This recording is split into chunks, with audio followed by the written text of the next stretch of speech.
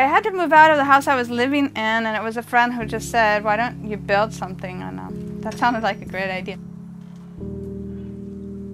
I think I'm slightly claustrophobic. so the storage container was a little daunting, but um, I got the container for free. It was a ship. It was Why? from Yeah, it was a shipping container that brought things back and forth from China, right? So it'd been at sea. It was free, you know. I mean, basically, I moved in there with like four thousand dollars. I mean, basically, it was like the two by fours, insulation, the drywall, the little bit of plumbing that I did on it, like the sink. And I was in that house after a month. This is it. There's not much more. This is, this is right now kitchen and living room, and uh, this is my daughter's trapeze, so it's her playroom. I had no idea about building stuff. I had remodeled a boat once, and that was my experience in construction, which was not much. With a jigsaw, I cut the openings, which took like a bunch of blades per opening. We did the door and the window and then these doors. The benefits of a container, you can move in right away. You have a house immediately. I mean, that's the thing. It's pretty incredible. Pretty traditional framing, two by fours. And then I put the denim insulation. And then I put bubble wrap to protect the wood because of the condensation issue. On the floor I put also insulation, but I put the styrofoam kind. And then I put a floor above it. And then I put tatamis on this part. And then with the ceiling, I put the styrofoam insulation and then these very thin plywood, which I'm going to take out and then at one point put a really nice roof. It's really well insulated. I mean, if anything, it just gets too hot. I mean, when you have that many cube feet of air, it just warms up really quick. So, I mean, we were living in just that 8 by 20, 160 square feet. I mean, there was a bed, a living room, and a kitchen, and that was it. You know, we managed to pull that off, but it was tight. So originally I thought I was going to go upstairs, put my room and my daughter's room up there, but um, I just decided to build this other one on a flatbed trailer. It's a flatbed trailer, and we bolted, you know, the frame to the base, and then just, you know, regular building. I mean, it's really mostly built like a shed. It's a nice looking shed, but it's really a 8 by 16 shed with windows in it. And I made it always southern exposure. I put like as many windows as I could because I really wanted it to be warm. So I hardly heat this. I mean, I just heat it a little bit.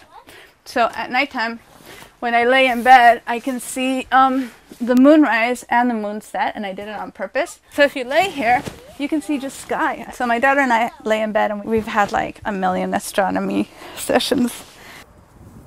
So it's been pretty amazing to like just spend so much time looking outside.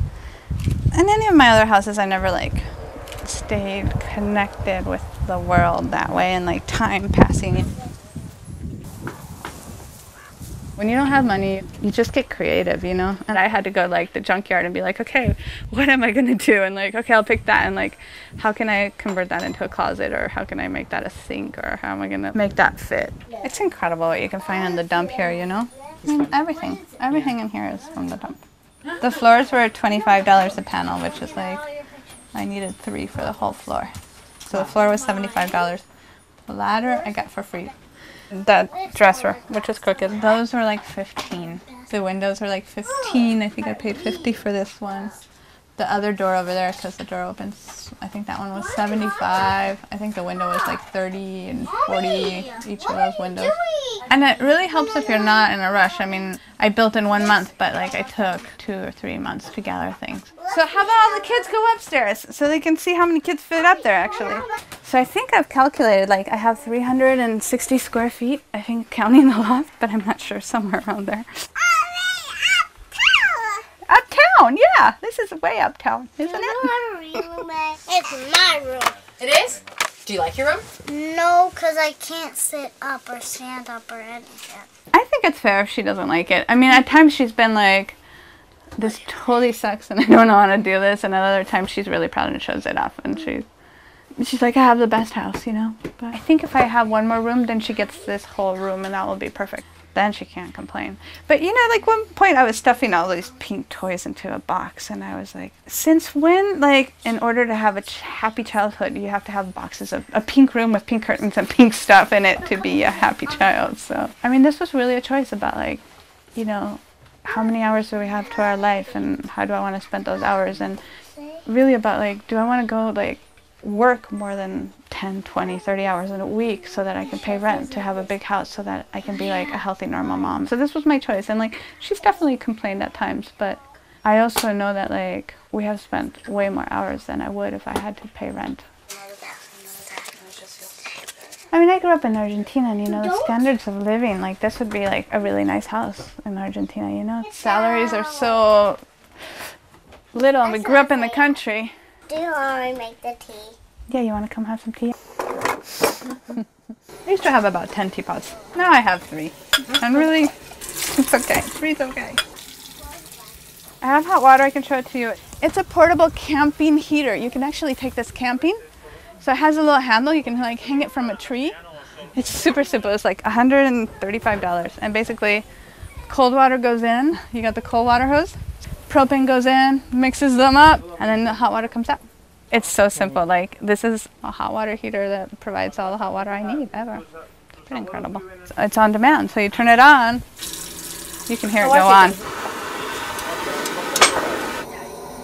Oh, camping stove. I rigged it with a long hose to the propane tanks that are outside. So I have one tank for the stove and one for the heater. I want melon. Melon, melon, melon, melon. I want a melon. It's a little bit like a boat. So when I think about the year that I lived on my boat, I think this is really spacious and luxurious. I kept having this dream of this very square boat. Um, After I built it, I was like, oh, that's what this was. This was the square boat that I kept dreaming about. I want a melon. So here's the other um, materials I have. So the next room is going to be built in this stuff. So it's going to look like a little Japanese tea room. So these are super sweet. They go about 300 bucks new. So this is the next room. And then I'm going to do the greenhouse and just corrugated. And so right now I'm in the process of drying out and we'll build in a couple weeks a greenhouse that's going to connect these two. Because in winter it was very exciting to go through the rain and you know the elements and the wind and the frost um, to the bathroom. I did build the bathroom too. I wouldn't have put the toilet right there, but it was the only way to fit the toilet, bathtub, and the sink. What size? Four by eight. There's not that many ways you can put the sink and the bathtub, like a clawfoot tub and a toilet in. I could have gone on a smaller clawfoot tub, but there's just some things I don't compromise. My priorities: I drink high-end tea, and I take a immersion bath. so I showed this to my brother in Argentina y me dijo, a vos siempre te gustó así la pobreza con mucho estilo. siempre como pobre elegante. Although now it's like fashionable to be kind of wabi-sabi, right? Wabi sabi? It's uh, aesthetic, like those doors, like reclaimed furniture or, you know, a lot of antique art is These wabi-sabi. It's about beautiful things that have time. It's sort of the concept of like this concept of impermanence, right? Like we are just transitioning. Living in a small space. You have a different relationship with the objects that you live with because then you really want them. It's so much stuff I don't need. Like, you know, right now I have 20 spoons. I don't really need 20 spoons, but I used to feel like I really needed 20 spoons. But You just dropped in the toilet. okay, let's get the spoon out of the toilet. No, but So I've just been like keep getting rid of stuff and it's just great. Material things, all of it is on borrow, right? We're all just borrowing stuff. And, I mean, we don't own things. We just get them for a little bit and then, you know, we pass them on and someone inherits it or, you know, you just give it away.